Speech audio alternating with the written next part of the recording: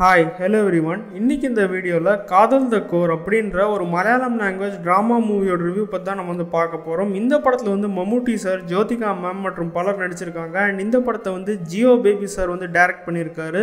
So இந்த படத்தோடைய story என்ன அப்படின்றத நம்ம இப்போ பார்த்துடலாம் மேத்யூ வந்து அவருடைய ஒய்ஃப் டாட்டர் அண்ட் ஃபாதர் கூட நிம்மதியான ஒரு வாழ்க்கையை வாழ்ந்துட்டு இருப்பாரு. ஒரு நாள் இவர் வந்து அந்த ஊரில் நடக்கக்கூடிய பை எலெக்ஷனில் கண்டெஸ்ட் பண்ணோம்னு முடிவெடுப்பார்.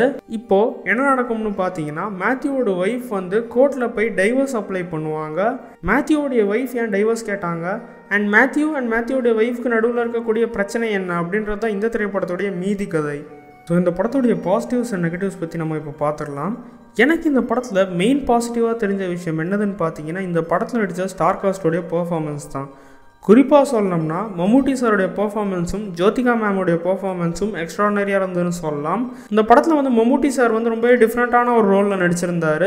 அண்ட் அந்த ரோல் வந்து பயங்கர சேலஞ்சிங்கான ஒரு ரோல்னு கூட சொல்லலாம். ஸோ அவர் வந்து இந்த படத்தில் நடித்ததுக்காக நம்ம கண்டிப்பாக ஒரு ஹேட்ஸ் ஆஃப் சொல்லியே ஆகணும்.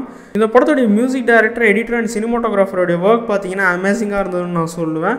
இந்த படத்துடைய ஸ்டோரி லைன் வந்து ரொம்ப சிம்பிளான ஒரு ஸ்டோரி லைன் தான்.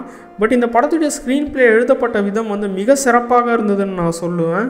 அண்ட் இந்த படத்துடைய ரன்னிங் டைம் பார்த்தீங்கன்னா வெறும் one hour fifty four minutes தான். சொல்ல வந்த கதையை ரொம்ப ஷார்ட்டான டியூரேஷனில் ரொம்ப ப்ராப்பராக இவங்க வந்து சொல்லியிருந்தாங்கன்னு நான் சொல்லுவேன். ஸோ இந்த படத்துடைய நெகட்டிவ்ஸ் பற்றி நம்ம இப்போ பார்த்துடலாம். இந்த படத்தில் வரக்கூடிய சில சீன்ஸோடைய லென்த்து பார்த்தீங்கன்னா கொஞ்சம் அதிகமாக இருந்ததுன்னு நான் சொல்லுவேன். அதை தவிர்த்து இந்த படத்தில் எனக்கு எதுவும் நெகட்டிவாக ஃபீல் ஆகலை. ஸோ ஓவராலாக காதல் த கோர் படத்தை பற்றி சொல்லணும்னா காதல் த கோர் வந்து ப்ரில்லியண்ட் அண்ட் பியூட்டிஃபுல் மூவின்னு நான் சொல்லுவேங்க. ஸோ நல்ல ஒரு மலையாளம் லாங்குவேஜ் ட்ராமா மூவி பார்க்கணும்னு ஆசைப்பட்டீங்கன்னா இந்த படத்தை நீங்கள் கண்டிப்பாக பாருங்கள் அண்ட் இந்த படத்துக்கு நான் கொடுக்கக்கூடிய ரேட்டிங் பார்த்தீங்கன்னா seven point five out of ten so இந்த படம் வந்து அமேசான் ப்ரைமில் இப்போ ஸ்ட்ரீம் ஆகிட்டு இருக்கு சப்போஸ் நீங்கள் இந்த படம் பார்த்துருந்தீங்க அப்படின்னா உங்களோட ஃபீட்பேக்கு கமெண்ட் செக்ஷனில் கமெண்ட் பண்ணுங்கள் அண்ட் இந்த வீடியோ உங்களுக்கு பிடிச்சிருந்தா மறக்காமல் லைக் ஷேர் அண்ட் சப்ஸ்கிரைப் பண்ணிடுங்க. Thank you